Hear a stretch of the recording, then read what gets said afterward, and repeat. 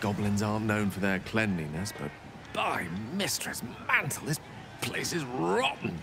The fewer breaths we take here, the better.